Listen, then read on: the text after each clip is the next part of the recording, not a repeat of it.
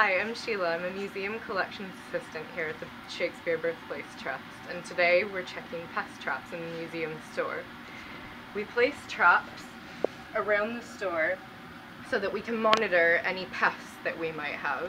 We place them around uh, doorways and air vents where they might be most likely to come through. And the bottom of the trap has a sticky surface so that they'll get stuck when they're coming through. And the most common things that we're monitoring for are uh, insects such as clothes moths or carpet beetle, which uh, commonly attack textile collections. And we have very varied collections here at the Trust, so we have to make sure that we're monitoring for any possible insects. So once I check it, I take it out, have a look, see if anything's inside. Luckily, there's nothing in this trap, but this is an example of what you might find if there's an infestation, and this is a clothes moth infestation.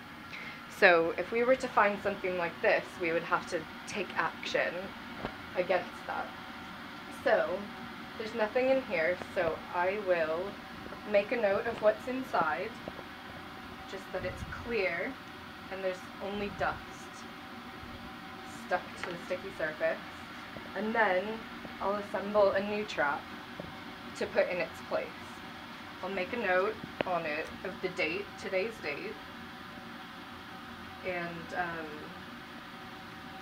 where it's located so that we can reference in the future. And then reassemble it by peeling off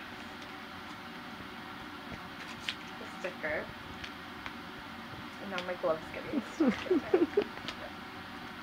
See, they're very sticky.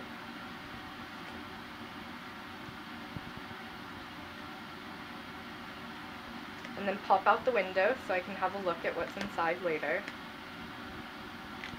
And then put that back in its place. and then come back and check at a later date to see if anything's come through. And hopefully nothing has.